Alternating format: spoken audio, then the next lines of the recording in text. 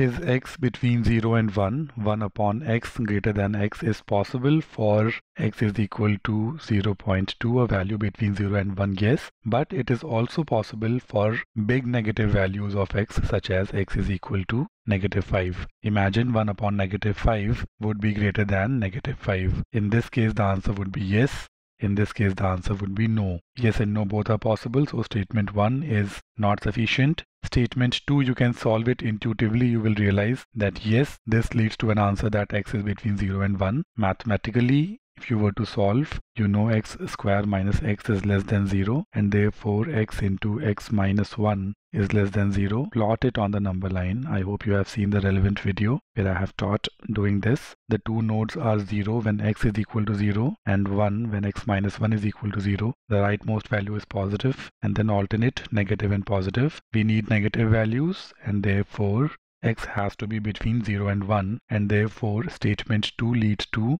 Yes as an answer. Statement 2 is sufficient. B is the right answer.